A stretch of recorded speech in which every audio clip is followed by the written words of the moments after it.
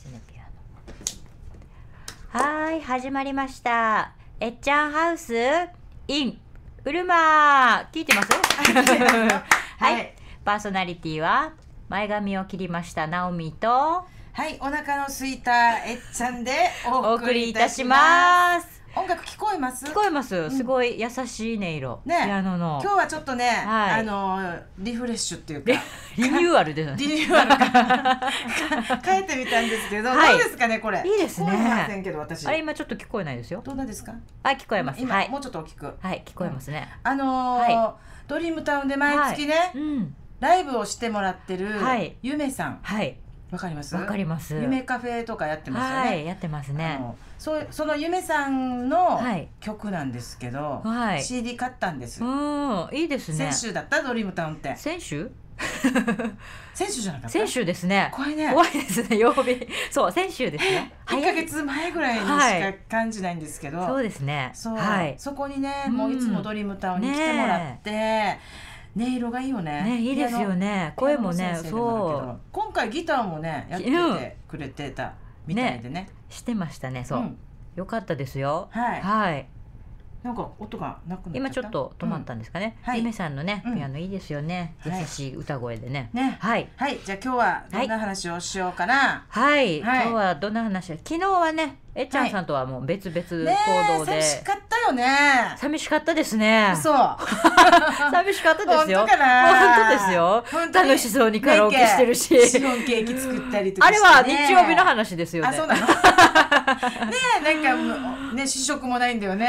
あれは作るだけ見せてかミーハンジャーしてから。あれはちょっと理由由があるので次回持ってきます、言えないので、うん。言えないの？うん、なんかあまり言いたくなくて。あわかりました。じゃあ、はい。後でこっそりとはい。私、でまた来週言うんですよね。聞き出しますけど。はい。はい私は昨日はですね、はい。午前中は、はい。あのなんていうの個人セッション、うん。はい。水戸黄門開始っていうのも、あのね各家庭に行ってはい。あの家庭訪問みたいにしてい。くんですけど、あ昨日はですねその方が自宅に来てくれて、はい。だから水戸黄門開始の前のうん。顔合わせみたいな感じでなるほど。すかね。はい。はい、それをやったんですけど、はい。最初ねとてももう、こう顔色もわ、うん。わ悪くっていうかやっぱり悩み事とか あるとねねみんなあれなんですけど、うん。帰りにはね、はい。もう顔が輝いてた。そうなんですか？びっくりした、そう。へー2時間で何が起きたかっていうと、やっぱりね、うん。視点を変えてあげたんです。なるほど、なんかね、うん。この方の、うん、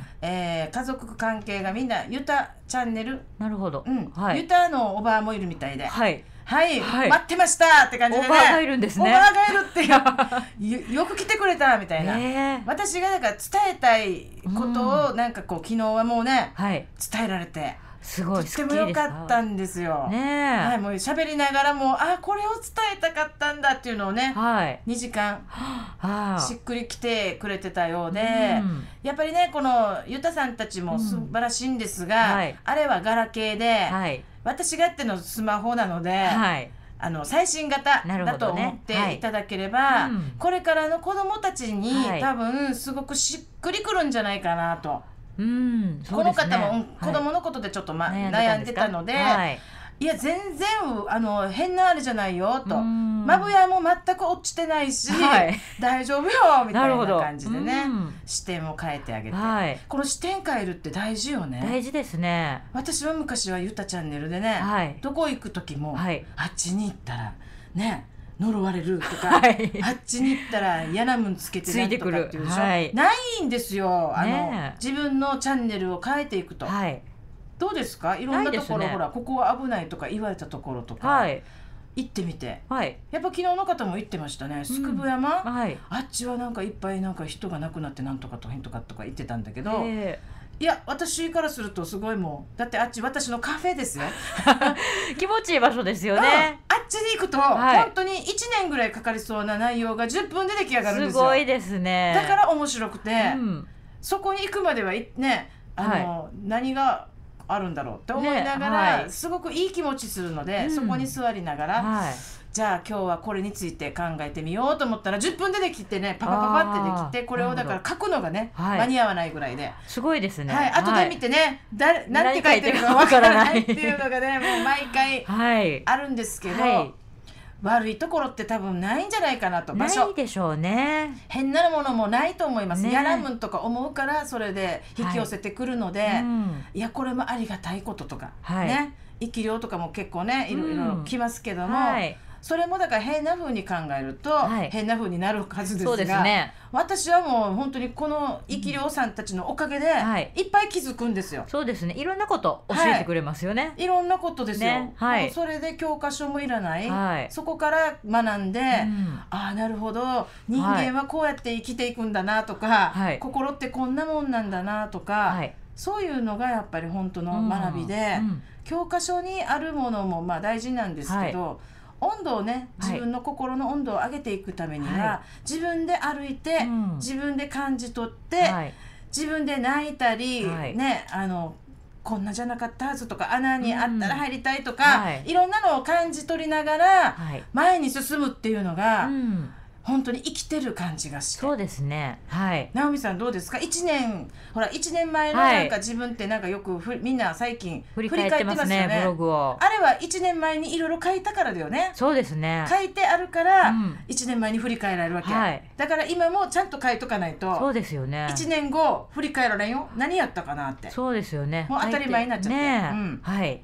どんなでしたか？1年前の直美さんっていうのは 1年前の私はやっぱもう自分自分でね旦那さんのこととか考えてるようで 考えてなかったなっていうのが最近よくわかる。なんかね悩み事に何だったかな？ラブラブしたいそうそうなんかどっか2人で出かけたいとか、なんか子供がね、うん。子育てでなかなか出かけるデートする時がなかったので、ね。えなんかそんな悩みを。いるのにねいるのにねって言われた時あそうだある時はハッとしましたね、うん。そうだと思って。いるのにねね。だからそのいるものにじ、はい。実感というか、はい。幸せを感じられない人は、はい。どこに行っても多分感じないはずよって言ったよ覚えがね。はい。それでハッとしましたね、うん。あそうだと思って、うん、これがはい。最近の、はい。昨日の競馬システムでねあはい。なんかあのメンバーさんが言ってたはい。もう一生懸命満たしを探そうと、あはい。外に出かけてうん。必死にやってる人がいて、はい。もうねこれ初級なんですよ実は、はい知恵袋にもあるんですけど、はい。満たしってどうやって探すの、うん。って本当に満たしがわからない人たちのはい。具体的に自分はだから、うん。じゃあコーヒー飲みに行ったらとか、はい映画見に行ったらってやるんだけど、本当にこれは初級の初級でね、うん。はい。本当に求めてるものってひあの皆さんはやっぱりこれじゃないんですね、うん。本当は。はい。だけど最初はみんなわからないので、ここからスタートして、はい。ああいい気持ちだなっていうのを味わうはいっていうのものなんだけど、はい。さっきのね旦那さんのものもと一緒になるんですが、外にはないんですよ。ね。求めてるものって、はい。結局そこで自分の心が一体どんな感じで、うん。あの出発点になってるのか、はい。マイナスなのかプラスなのはかにも関わってくるんだけども、それでなんだろう何も気づかないで、うん。例えば一緒にねはい。フランスに旅行に行っても、はい。どこかに行っても、はい。美味しいものね100はい。万円の食べても、はい。こうぐちひぐちしてるはず、うん、してますよね、だって人は、うん。テストでね、はい。80点取っても、はい。あとの20点探す、はいなんか何が悪かったのかな、ねここがこうだったとかね。そう、はい。99点取ってもだはずよ、ねあと1点だったら100点だったのにとかね、はい。視点がだから違うんですよ、はい。そこにむ向くから苦しくなったり、うん。はい。不満が出てきたりするでしょ、80点だったら80点喜べばいいさ、うん。だから旦那さんがお家にいるって最高じゃない？そうですね。うん、浮気とかしてね。しないですようち誰も,、はい。誰もいないとか、あねえ。のお家に帰ってこないとそうですかよね。本当に死別してねうん。悲しんでる人もいる、そうですね。そこを見ればいいのに、ね。何を見てるんだろうと思ってね。はい。確かにそうでしたね、なので、はい。やっぱり満たしもそうなのかなと、普段からやっぱ、おあの朝から晩まではい、いっぱいお家にねうん。転がってるんですよ、そうですね。ううんん、それに感じ取るっていうか気づけるうん。人はね、はい。眠る前にはもう幸せいっぱい、はい。うん、で、うん。朝起きても幸せだし、うん。あ起きれたみたいなね、はい。もうずっと満タンですね。そう。はい。これが起きるのもだから当たり前と思ってるから、なんかどっかでね満たし探そうとかね、あんな近くにたくさんあるのに、ね。どこ探すんだろうと思って、はい。うん。こういう人はね、うん。あの絶対探しきれない。はい。あの一生懸命探してる人、ううん。んまずおお金も使うしね,、そうですね。時間も使うし、うん。なんだけど満たされないのよ。でねわかります？いありましたね一うん。時そういうのね。だけど今は。求めるよねでもね、うん。求めるの悪いことじゃないんですけどね、うん。でも求めないとほらそう。あの気づか気づないかね。からないからね。い。いことなんですけど、いいと思いますよ。いいと思いますね。私もだからこのね、ドリームあえっちゃんハウスの前のドリームハウスやる前は、うんもうなんかねだからこれですよ。満たしの探しはい。三千里。まそう長男産むぞって言ってはい。産んでもうこれで満たされると思ったら、あれってね、はい。よし習字教室大きくするぞって大きくした。100万円貯めて、はい。ね大きくした。トイレも作って、はい。もうこれで満たされるぞと思ったら、あれ？みたいな。満たされない、よし給料30万取った、はい。もうこれで次は40万だ、はみたいなね。はい。だけど気づいたんですよ、はい一向に満たさない。っていうのがね、なのでやっぱりやってみたらいいですね、ね。とことん。そうですね、うん。もう映画も100回ぐらい見て、ね。なんで満たされないのかなと うん。かはい。考えてみたらいいのかな、うん。なんで旦那とね旅行も生きてるのに満たされない、ね。あれ？みたいな。はい。いやっぱ動くことかな。そうですね。動いてまた気づくのでね、うんね。ね。いいと思いますよ。私もなんかありましたからねそういうのね、うん、もう気づいてきた。気づいてきたんですね、うん。そこ無理して外行かなくてもいいかな、みたいな感じ疲れるよ。あともうなんか洋服も着替えないといそうそそういう。必死になってね時間に合わせていった例えばり必死になって時間に合わせてもうなんかいろいろやってさ、はい見返り期待するでしょ、はい。で旦那が何もね、はい。ブスッとしてたり、はい。何も喋らんかったらねね。あんたよせっかく外に出たのにとかね。ね。またこっちで大口さ、はい。それよりお家で、はいねあこのいるだけで幸せっていうものをね感じ取れるようになるためにやっぱりどうどうしたらいいんですかね？どうしたらいいですかね？この満たし、えー小さな幸せを感じ取れるようになるために、はい。人生いっぱいありますからねお家にね、うん。でも。でもほらみんなわからんでしょ、はい行っても多分わからないはず、はい。お家にいっぱいあるよって今例えばね、うん。みんな皆さん、はい。えっちゃんハウスに関わってない人に行ったとしてそうも、ですね。はあってね、うん。不満はいっぱいあるので、はい。などうしたらいいですかね？どうしますかね、うん。まずは。何がいいですか？だ何がいいですか？からやっぱりさっき言ったように、うん。映画を見たりとか、うん。五感を感じる。五感を感じて動いてみたら、うん、ね。形にあなるみたいなものうん。をちょっとじゃあ味わうみたいな感じかな、はい。うん、やっぱこれも段階があるんですかね？あると思いますね。見出しもね、うん。段階があってうん。そこで気づいていくのかなっていうのもありますよね。うん。で、えっちゃんハウスに来てる人はね、うん。意外と満たされてるんですよ、はい。皆さんわからないと思うんですが、あのーなんで満たされてるのかわかります？なんで満たされてるか、うん。えっちゃんハウスに来てる人たちは、はい、だから離れないさね。そうですね。満たしがあるから。う、ん、うん、何の満たしがあるんでしょうね。何の満たし？間違ってたらやっぱピシッと教えてもくれるっていうのもね、うん。一つの満たしにもなりますよね。うん。なるほど、M なんでですね。そうですね直美最近。ねはい。はい、さっきもビシッとね。だから 来る前にねねもうちょっとシューってなりましたけどね毎回のことですがね、大丈夫ですよ。はい。はい。はい。ね。あとはほら信頼関係関係かも必要です仲間のね、うん。絆とか、はい、そういうのがやっぱりできるとうん、楽しくなるっていうかね、はい。もっと深い部分ですよはねい。ね。はい、私。何ですか、笑ってるけど。じゃあ急にうん。トーンが下がったのであ何かと。思って、はい。満たしね、はい。はい深いですからね満たしもね。うん。ん。だからね結構学べば学ぶほど、まうん。あこの満たしじゃないんだなって。はい。自分が欲しいものを本当にね、うん。見つけきれるよううに、ん。やっぱ自分がわからないと、そうですうね、ん、いけないですよね、いつまでたっても自分はほらどんどん上がっていってるのに、もう映画見に行ったりとかして、は必死にねはい。でも全然満たされないんです、うん。っていうのはそれじゃないんですよ。もううん。2段階なんですね、このはいものの満たしっていうのは。物の物欲で 2, すね。段階なので、もしかしたら3段階に来てるのかもしれはいませんね。段階が段階ありますからね。吐き出したら満たすとかね、はい。自分のことを人に伝えるとか、はい。そう私も知恵袋のおかげでとても満たされたので、はい。はい。知恵袋。うん、知恵袋といえばもう直美さん、はい。ベテラン直美さん。ね ベテランまでは。はい。自分の体験をほら、もうはい入れられるようになってますよね。そうですね。まだはい知恵袋って2年しかならないんですよ作って。そうあそうですね。2はい。年ですね。出来上がったのが2年で、その間にだから直美さんは体験をいっぱいしてきはい。たからこれができるですよね。はい。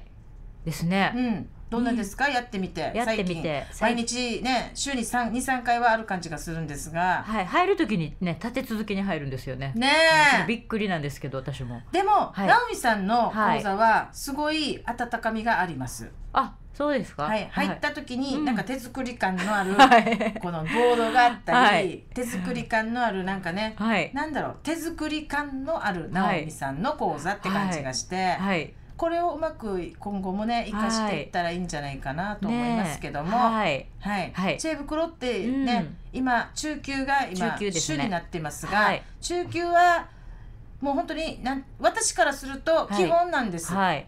当たり前にわ覚えててほしいこと、うん。例えば人生の仕組みであったり、からくりであったり、はい。心の声、うん。心の声じゃない、うん。心の癖か、はい。癖とか、はい。人間関係とか、うん。あとねもうミーハーでみんなね、はい。あの知りたがってる、はい。あの世のこととかね、あの世のこともミーハーじゃなくて、うん。本当にあのそれを取り入れながら、はい。現実も動かしていくっていうのをしてるのでね。はい。本当に現実味があるありますね。あの、はい。伝え方してますよ、うん。ふわふわしてない、してないですねうん。全然ふわふわししててないですよ。はい。しっかりついてますよもう。しっかり足にね、はい。足つけて、はい。でもうまくこれを活用してやってるんですよ、はい。だからこうどんどん進んでいくんですすよね。ね。本当にうん。上手にっていうか。バランスよくね。バランスいいですよね。本当に自分でももうね楽しい、ね楽しうん今が楽しい、うん。やっぱはいりこう地に足をつけて、うん。あの世のこともやらないと、うん。なんかざわざわしたりね、はい。あのーなんだろうもう苦しくなったりするんですけど、うん。ちゃんと見えない部分はい。もしっかりこう歩みながらはい。やると、はい。い、い気持ちなんですよ毎日が。はいねはい。気持ちよさそうですよねはい。毎日ね。だからよくこんだけね このたくさんここにチラシあってそう。皆さんね言うんですよ、うん。どんだけこれじあの日数とかかかったんですかって言うんですが、はい。い、や何もかかってなくて、はい。上ねなんかこうメッセージが来たものはをピッピッピッってこうなんか組み込んで、はい。そしたら人材が揃ってるので、はい。その人材に合わせて、うん。あじゃあこれはあなたであなたがやるやったら上等よとか言って、うん。コラボにしたりとか、うん。今日もコラボが生まれたんですが、はいあのふーみーさんのはいはい。ヨガと、ヨガはい。うん。でふーみーさんはねこのうん笑顔屋でうん。今すごく流行ってる、はい。なんだっけ討論会？討論会ですね。うん。はい。討論会っていうのをね、うん。みんえーあれは何だ？寿司すす寿司屋さんシステム？寿司屋システム？うん。あのあれお見合い回転回転寿司。システムはい。って言ってね、はい。とても面白はい。いシステムが入ったものがあるんですが、はい。それがですね、うん。昨日おとつい、あの笑顔やあ、ま、だいぶ前にね、うん笑顔屋とはちょっと違う、はい。もうちょっとなんかこうみんなが入りやすい、はい。資格なのかはい。講座なのかができるって、うん。私にめ来たんですね、それがアダルト・チルドレンはいさんたち。はい。大人になれないうん。ちょっとした子供はい。たちに何かこうあの伝えられるような、はい。もうちょっと理解がしやすいよううなん。ものを作るはい。っていうのが、なうん。眠たいんですか、うん眠くないです。大大丈夫です。よはい。う。ん。そう、はい。それそれがですねえーっとふーみーさんが受け持つことになり、はい。でアドバイスができる人がいないといけないですよね。うん。はい。これがナオロン、ナオロンがうん。目で見える理屈でね、はい。こう伝えていく、はい。もので伝えていく、あはい。だからアダルト・チルドレンさんたちにはすごくこれはヒットしますね。わからる。理解ができないけど、ほらはい分かる風なしないといけないとか、もう大人だから、はい。できて当たり前とか、あの思ってる方がいると思うんですが、い、やいやあのなんて言うんだろう。大人になってもやっぱりはい。経験不足とかね、うん。はい気づきがやっぱりうん。ちょっとできなかったとか、はい。そういう人たちはねはい。悩んでると思います。そうですね。だから、うん。そこそれをねもう見捨てるんじゃなくて、はい。もうもっと掘り下げてか簡単な分かりやすい方法で、うん。知恵袋もちょっと練っていきながら、うん。多分伝えられると思いますね。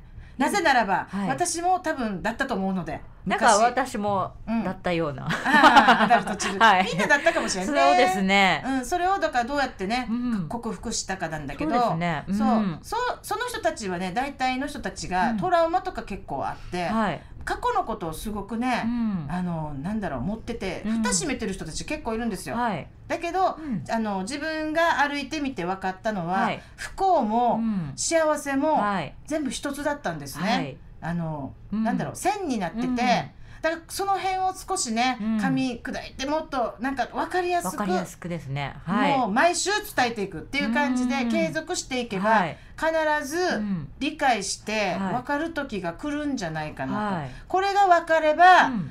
ああの時はこうだったからこうなったんだとか、うん。もっと掘り下げてね、はい。頭の中で考えられるようになれば、はい。トラウマもなくなるし、はい。ね今ああれがあったから今があるはい。とかね、うん。そういうのであの分かってくるので、はい。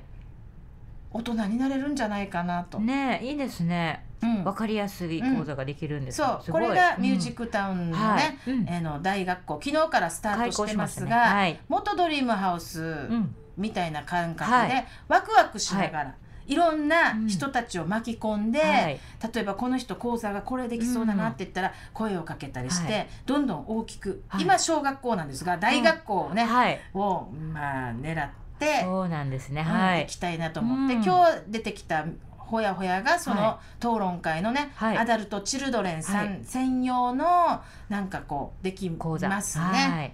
はい、はい。そういうのができますが楽しみですね。うんはい。すごい。で、うん。まあ今会社作りもね、うん。どんどんやってますけども、はエリカさんがね、はい。い、いねあのね。作文を書いてくれてね、はい。いやエリカさんって中学校の先生だったんですがびっくりよね、はい。あの一しえー、1か月前かな、ね。職したんですよね。思い切ってね。え。そう。すごいですよそうね。それをちょっと書いてるのでじゃあ、はい。直美さん読んでいいですか？もらっていいですか？はい。はい。じゃあ読みましょうね。はい。はい。人生の転機は突然に、伊佐川エリカ。人生の転機は突然やってくる。それも予想もしない形で。中学校教諭を退職したのは今年の9月。私にとって家庭、仕事のバランスを考えての一大決心となりました。これまで社会人として培ってきた形を失うことに不安や躊躇がなかったわけではありません。ただ、ここ2年間、四女双子の妹の入院が何度となくあったことが私の人生設計における転機となったことは間違いありません。双子を妊娠中に切迫早産で1ヶ月に及ぶ入院生活を体験その時に支えとなるブログに出会いました。自身も子育てしながら子育て中の母親の支援として自宅を開放しての講座開催。1年目にして1300人もの受講生が訪れた場所。私はそこへ行くことを密かな楽しみとして入院生活はブログを通してワクワク気分を共有していました。4年前にブログを通して出会った久保悦子氏と本格的に会社づくりに翻弄する一人になろうとは予想だにしてませんでした。人材育成各種講座開催ラジオパーソナリティイベント開催など多岐にわたる活動を仲間と継続してきた久保氏飾らない実直な人柄が人を引き寄せ子育て中の女性が多数集まる場所へと発展していったのではないでしょうか。それぞれの可能性を探り個性を引き出し自身の自信へとつながる体験を積む場所を提供することで人材育成への場所とな場となったえっちゃんハウス代表久保悦子氏みんなのやってみたい。仲間と共に作り上げたい。という声が形となって反映されたのが新しい試みの会社づくり。主婦14名による挑戦はスタートしたばかりです。家庭仕事社会貢献とバランスの取れた人生を送る。一人で実現するのは難しいですが仲間と共に歩む過程を大事にし人生の土台を築いていきたいです。予想もしない新たな機会が訪れた今日今日かな。計画通りの人生ではないですが一度っきりの人生体当たりできる環境に身を置けることに感謝します。前代未聞の主婦の挑戦続く。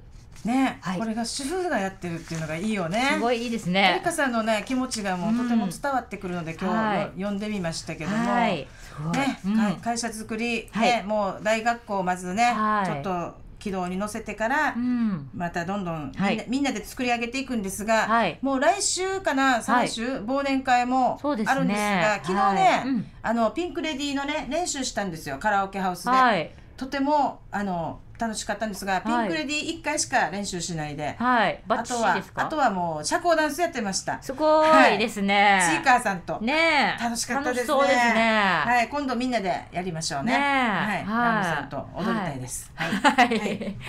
じゃあ、はい。そろそろ。いいですか？はい。はい。じゃあもうお時間ですね、はい。それではまた来週ですね。せーの。Keep on dreaming. バイバイ